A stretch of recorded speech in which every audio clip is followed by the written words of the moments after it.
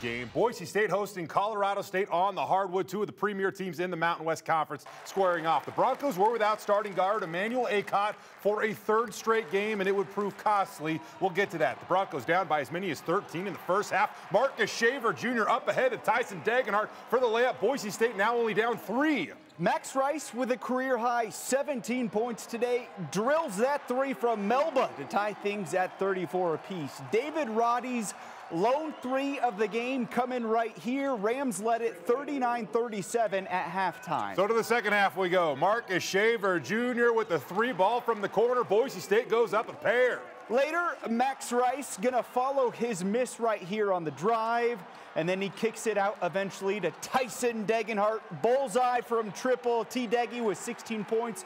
4-4 from three, Broncos up by five. Back and forth we go. Roddy with two of his game-high 19 points. The Rams go back in front, 62-61. Then with under 20 seconds to go, the Broncos need to tie it with a three. Does he do it again? He does. Big-time bucket shave ties things. He had 17 today, all tied at 67, eight seconds to go. Isaiah Stevens trying to be the hero for the Rams.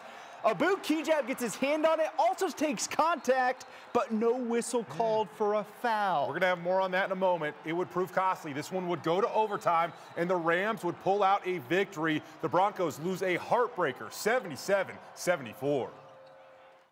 I was proud of all these guys, the way they just – like you know they played heavy heavy minutes tonight in a hot high possession game. It was really physical and they just kept reaching deeper and deeper to, to give us more. We're going to hang our heads for a little bit but we know we got to bounce back wednesday and, and that's what a tournament team would do so we just got to keep our head up and keep going. I don't remember when i've been more proud of a team. We're all disappointed that it ended the way it ended and you know it's a tough one but there's not much more they could have done. It comes down to one one you know one or one play really Hey, here's a look at whatever the heck happened at the end of regulation. Clearly, there was some contact on Abu Kigab. He should have been going to the free throw line with a chance to win the game. Instead, the officials blew what they call an inadvertent whistle, which led to, well, an intentional loss for Boise State.